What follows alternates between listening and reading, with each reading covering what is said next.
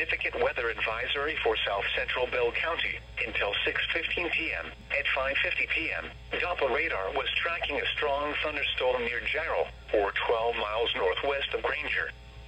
This storm was nearly stationary. Wind gusts up to 50 miles an hour will be possible with this storm. Locations impacted include